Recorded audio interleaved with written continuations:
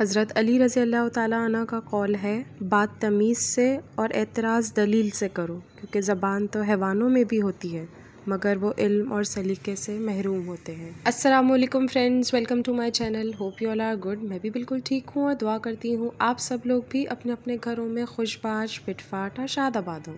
अच्छा जनाब, जहाँ और बहुत सारी बातों का चर्चा है, वहाँ एक इस बात का चर्चा बहुत ज़्यादा हो रहा है कि साजिद साहब ने नैना और उनकी वालदा साहिबा के गिफ्ट्स आखिर बांटे तो क्यों बांटे? और कुछ लोग इस बात पर बहुत ज़्यादा ही अपनी नाराज़गी का इजहार कर रहे हैं कुछ ने तो उनको फितना ही बोल दिया है। अच्छा तो सबसे पहले मैं अपनी राय का इजहार करूँ कि जब मुझे पता चला कि उन्होंने जो है वो गिफ्ट्स इस तरह करीबों में बांट दिया बाकायदा वीडियो बनाई तो मुझे थोड़ा सा एक हुआ कि उनको ऐसा नहीं करना चाहिए था। एटलीस्ट गिफ्ट्स का अंजाम तो यही था क्योंकि जो कुछ भी हम बैकग्राउंड में देख रहे हैं उसके बाद गिफ्ट्स का अंजाम तो यही था। मुझे लगा अगर वो इसकी वीडियो ना बनाते तो ज़्यादा बेहतर था। लेकिन अगेन ये सिर्फ़ एक मेरी राय है और गलत हुआ अच्छा हुआ तो वैसे और क्या कुछ बहुत अच्छा हो रहा है ये और बाकी जो कुछ हो रहा है वो क्या सही हो रहा है तो इस वजह से ये बहस तो एक लाहासिल ही है।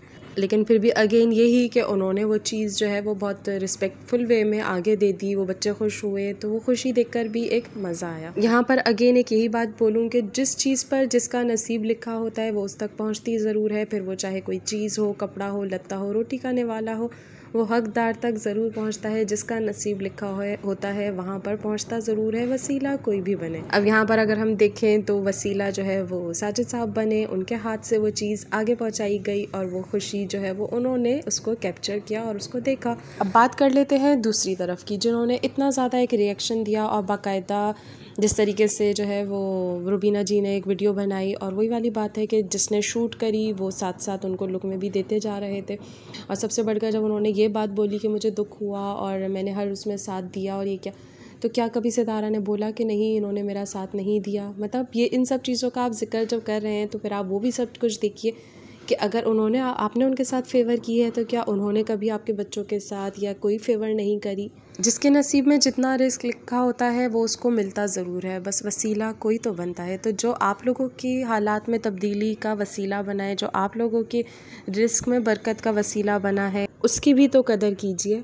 और यहाँ अगेन वही जो कि मैंने बहुत पहले ही अपनी एक वीडियो में शेयर किया था कि जो ये चैनल बनाया गया है रुबीना जी का, वो ऐसा लगता है कि सिर्फ़ और सिर्फ़ कॉन्ट्रोवर्सीज़ को मज़ीद हवा देने के लिए बनाया है। और जैसा कि होता ही है कि नैना बहुत सारी चीज़ें खुद से फ्रंट पर आकर नहीं बोलती हैं, लेकिन वो अब तक सिर्फ़ और सिर्फ़ अपने भाइयों को या अपने शोहर को यूज़ कर रही थी। भाई भी जो है वो बहुत सोच समझ के संभल के बोलते हैं तो इस वजह से बहुत सारी दफ़ा उनको उनकी फेवर हासिल नहीं होती है तो इसलिए उन्होंने अपनी अम्मी को भी मैदान में ले आई है और अब उनकी अम्मी भी उनकी उनकी तरफ़ से ताबड़तोड़ जवाब देती थी तो यहाँ पर उनकी अम्मी ने बोला कि मुझे बहुत ज़्यादा दुख हुआ कि उन्होंने इस तरीके से किया तो ठीक है, यहाँ तक की बात ठीक है ठीक है, आप अपनी, अगर आप खुशी से लेकर गई थी, जो कि आपने घर आकर और अपनी अगली वीडियो में या नैना की वीडियो में आपने इन सब चीज़ों को बोला भी कि मैं तो नहीं जा रही थी या मैं तो नैना की वजह से गई थी। तो यहाँ एक तरफ़ अगर आप ये बातें बोल रही हैं तो अगली तरफ़ से आप ये कैसे एक्सपेक्ट करिए कि वो चीज़ आपको जो है वो आप गिफ्ट लेकर गई थी? तो इसका मतलब आप तो सिर्फ़ एक फॉर्मली लेकर गई थी कि ज़ाहिर सी बात आप जब बर्थडे पार्टी में जा रही हैं और चाहे ज़बरदस्ती ही जा रही हैं तो आपको एक फॉर्मेलिटी के तौर पे गिफ्ट तो लेकर जाना ही था। तो इसी तरह उन लोगों ने भी फॉर्मेलिटी के तौर पर आपका गिफ्ट एक्सेप्ट कर लिया। अब फिर अगर उसको आगे कर दिया तो मेरा ख्याल है कि इसमें भी फिर कोई इतनी बुरे मानने वाली बात ही नहीं है। और फिर यहाँ पर आपका साजिद साहब को फितना बोलना, वो भी कुछ एक अजीब सी बात लगी। और फितना बोलने की वजह ये थी क्योंकि वो सुलह नहीं होने दे रहा। यानी जो सुलह ना होने दे, वो फितना है, लेकिन जो सब कुछ एक ये गन डाले जिसने तीन महीने से सबको एक अजियत में डाल के रखा है, वो कुछ भी नहीं है। तीन महीने से जो भी एक जहनी अजियत में वो रह रहे हैं, वो जिस भी चीज़ से गुजर रहे हैं, उसके बाद आपको लगता है कि बस कोई जाए और सॉरी बोले और वो मामला सब वहीं से ही दोबारा से स्टार्ट हो जाएँ तो मेरा ख्याल है आपको कुछ ख़ुद भी अपने अकल पर हाथ मारने चाहिए। फिर उसके बाद शाहरुख साहब की वीडियो देखी, हालाँकि जब वालदा साहिबा बना चुकी थी और वो अपनी नाराज़गी का भरपूर तरीके से इजहार कर चुकी थी तो उसके बाद इनका तो बिल्कुल बनता ही नहीं था, क्योंकि इनका कोई इस बात से ताल्लुक भी नहीं है। लेकिन जिस तरीके के अल्फाज इन्होंने बोले और जिस अंदाज में इन्होंने मुखातिब किया साजिद साहब को तो उससे इनकी तरबियत का बहुत अच्छे तरीके से आइडिया हो रहा था, यानी कि इन्होंने जो एक ढका छुपा सा लिहाज था, वो भी बिल्कुल फ्रंट पर आकर ख़त्म कर दिया। सबसे बढ़कर के जो कि कम्युनिटी मैंने इनकी देखी, जिसमें इन्होंने जिस तरीके से उनको जवाब दिया था। तो मुझे बहुत ज़्यादा हैरत भी हुई और दुख भी हुआ क्योंकि यही सब चीज़ तो वो जब अनुषा जी के लिए बोल रहे थे कि कुछ टाइम पहले तक वो मतलब वो उनको एहसास दिला रहे थे कि तुम हमारी वजह से ही ऊपर आई हो और वरना तो तुम्हारे कोई सब्सक्राइबर नहीं थे और तुम हमारी वजह से इतनी मशहूर हुई हो। तो वही सब कुछ अगर दूसरा बंदा आकर आपसे कहता है कि तुम हमारी वजह से आगे बढ़े हो तो वो फिर आपको क्यों इतना बुरा लग जाता है? आप जब दूसरे से चाहते हैं कि वो आपकी जो है वो वाह वाह करता रहे क्योंकि वो आपकी वजह से आगे बढ़ा है तो आप भी फिर दूसरे की वाह वाह करते रहिए। क्योंकि आप भी किसी की वजह से तो यहाँ तक पहुँचे हैं। अच्छा और सबसे बढ़कर हैरत इन बा, इस बात पर ही होती है कि जो लोग उनको कहते हैं कि वाह वाह बहुत अच्छा जवाब दिया और मैं ये भी देख रही थी कि सलमा जी की लाइफ में इनको बाकायदा जो है वो बोला जा रहा था। अरे हमारा शेर तो शेर खुद भी ज़रा परेशान हो गया था कि वाकई जो कुछ मैं कर रहा हूँ वो इस काबिल है। कि उस पर भी वाह वाह की जाए, लेकिन वही वाली बात के जो जैसा होता है उसको वही काबिल वाह वाह लगता है। तो आपकी वाह वाह करने वाले भी वही लोग हैं जो ऐसे शख्स के लिए मुहिम चला सकते हैं, जिसकी वीडियो जो है वो बींग अ वेमेन या मेरा ख्याल है, जिसमें थोड़ी सी भी इंसानियत होगी, उसके लिए उनके शख्स की वीडियोज़ देखना बहुत ही बड़ी एक अजियत है जो कि हमसे तो बिल्कुल भी देखी नहीं गई तो आपके लिए वाह वाह करने वाले और आपको शेर बोलने वाले, अगर उनके लिए लाइफ सजा सकते हैं, उनके लिए जस्टिस मुहिम चला सकते हैं तो फिर आप तो वाकई उनकी नज़र में शेर ही होंगे। लेकिन हकीकता बताऊँ तो दुख हुआ। इस बात पर दुख हुआ कि आपके घर वाले क्या आपको वाकई किसी चीज़ के लिए नहीं रोकते? मतलब आपकी वालदा साहिबा आपकी वीडियोज़ देखती होंगी। और घर का कोई तो बड़ा ज़रूर देखता होगा जो आपको, जिसने आपको कभी नहीं बोला कि ये तुम क्या कर रहे हो, जो भी शिकवे शिकायत सही, लेकिन फिर भी तुम ये क्या अंदाज़ अपना रहे हो, तुम ये किस अंदाज़ में बात कर रहे हो तो कम अज़ कम कोई तो तरबियत का लिहाज करो, लेकिन मेरा वही ख्याल है कि शायद तरबियत हुई ही नहीं है। तो फिर लिहाज कहाँ होगा? अच्छा यहाँ पर एक बहुत अच्छी बात यह है नैना जी की कि नैना जी सबको बहुत रोकती हैं, लेकिन वैसे एक बात है कि कोई उनकी सुनता नहीं है और एक उनकी, एक अच्छी बात तो यही है कि वो रोकती सबको है, लेकिन रोकने की टाइमिंग्स उनकी ख़राब है क्योंकि वो पहले वीडियो बनवा लेती हैं, उसको एडिट कर देती हैं, उसको अपलोड करा देती हैं पब्लिक हो जाती है। उसके बाद वो आकर बोलती हैं कि मैंने सबको बहुत रोका, लेकिन मेरी कोई सुनता ही नहीं। मतलब उनको जो भी लगता है कि जो भी कुछ हुआ है तो वो उसके लिए बहुत आसान सा है, सुलह कर लेना, यानी कि सब कुछ भूल जाएँ और सुलह कर लें।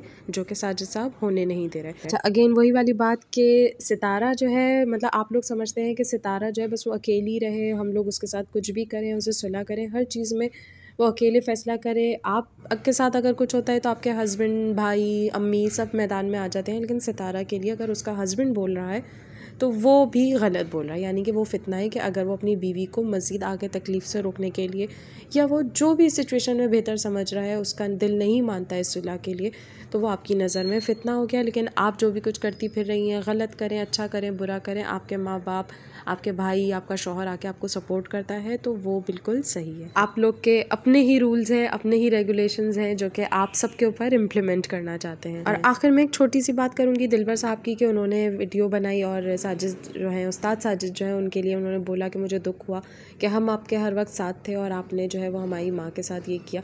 तो उन्होंने क्या कभी इस बात को डिनाई किया कि नहीं, ये लोग हमारे साथ नहीं थे? उन्होंने आपको हर जगह अपने साथ रखा, हर जगह उन्होंने बोला कि हाँ ये लोग हमारे साथ थे। लेकिन यही लोग जो साथ थे तो आपकी माँ और बहन ने उनके साथ क्या किया? तो वो अगर चाहते तो एक लम्हे में आप सबको भी छोड़ सकते थे कि नहीं, हमें आपके भी साथ की ज़रूरत नहीं है। लेकिन उन्होंने तो ऐसा नहीं किया, आपने उनका साथ दिया।